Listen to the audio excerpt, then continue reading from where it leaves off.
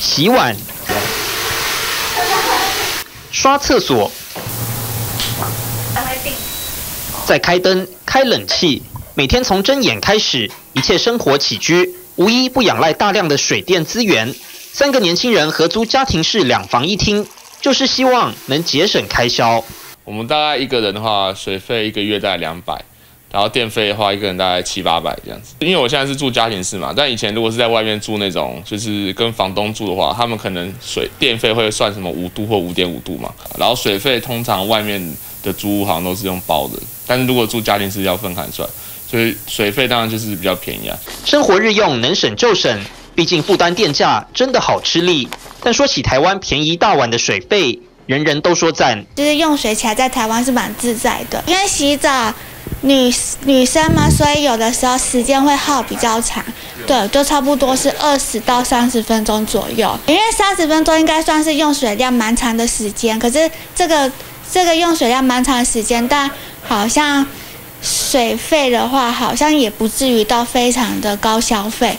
台湾水费实在有够划算，但虽然降雨丰沛，却受限于山多平原少，有八成水源不是蒸发，就是直奔大海。水资源管理丝毫没有挥霍的本钱。一百零九年，台湾每人每天平均的用水量是两百八十九公升，其中又以台北市的三百三十八公升为最高。而现行的水费计价方式是以度为单位，一度等于一千公升，累进费率从七到十二元不等。水用的越多，水费单价也就越高。台湾每度水费平均下来仅仅十一元，等于一个十元硬币就能买到约一吨的自来水。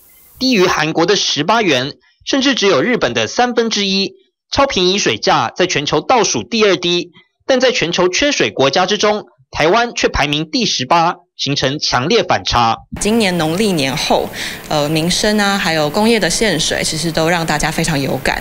但是在五六月的时候，瞬间的暴雨让台湾很多水库都在短短几周之内就完全的呃注满了。那甚至台北市还创下了呃有史以来最大的时雨量二零九。每小时，所以可以看到，在气候变迁之下，其实水资源的管理在未来会是一个非常大的挑战。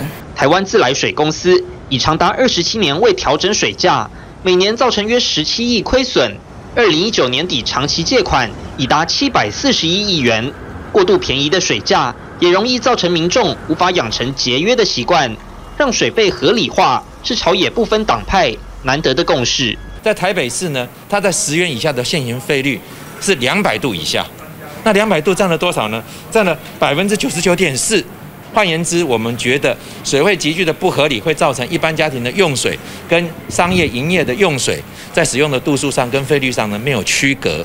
根据水利署调查，每月用水超过上万度的有五大产业，包括石化、造纸、光电、电子以及钢铁业。立法院早在二零一六年就三读通过水利法，要征收耗水费。水利署最初规划征收门槛是一千度以上，近期却倾向改为一万度，但相关配套改了再改，却迟迟没有真正实施。每次我们都是用道德的诉说在讲节约用水、节约用水，但是有没有真正去节约到？如果有一个不同的坡价的一个水价，我相信也可以用政策去带动老百姓真正达到节约用水的政策。水利署表示，目前对于水价调整仍在评估当中。但今年初的缺水之苦仍历历在目，极端气候势必让干旱程度更加严重。对于水资源的节约制度，实在没有更多时间能蹉跎。TVBS 新闻李伟华、顾尚君台北报道。请订阅、按赞、分享 TVBS News 频道，并开启小铃铛，也请用手机下载 TVBS 新闻 App，随时掌握国内外大事。